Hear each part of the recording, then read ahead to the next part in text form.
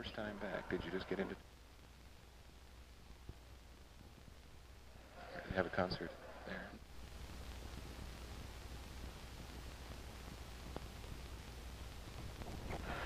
Dr. Hanson, do you think that we're losing creativity in, in today's computerized world in the field of music? Well, I, I think there's a great danger that we may be losing creativity not only in music but in in the graphic arts, uh, in literature, in, in in fact everything, uh, uh, because the pressure is so much toward uh, making everything automatic, uh, computerized, as you say, that man is in a little danger of becoming a computer himself. And I think that this is one of the reasons why the arts are so tremendously important today, perhaps more important than they ever have been before in the long history of man.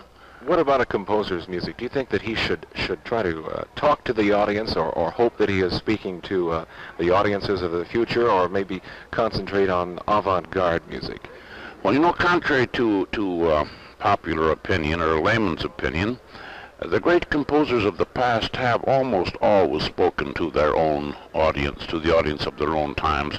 If uh, if you think of Palestrina, of Bach, of Mozart, of Beethoven, of Haydn, uh, they may have been a little ahead of the moment, you know, but they were maybe 10 years ahead or 20 years ahead. I mean, they weren't speaking to an audience which will exist 100 years from now.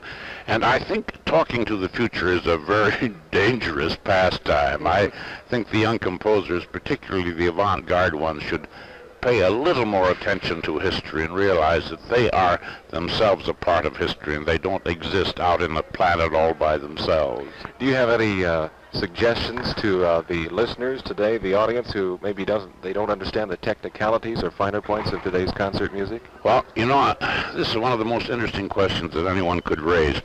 Uh, of all of the things that are difficult to teach in the arts, I think uh, so-called appreciation, and I, I hate the word, incidentally, I think this is the most difficult thing, because to teach people how to look at a painting, how to uh, listen to a piece of music uh, presents formidable difficulties.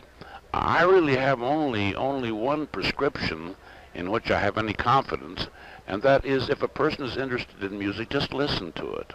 But listen attentively. Uh, I mean, don't listen casually. Listen very attentively. Listen closely, and listen as much as possible. In other words, if you like a new composition somewhat the first time, try to hear it again and see if you like it a little better the second time if you hear something in it that you didn't hear the first time. I think that's about the only prescription that works.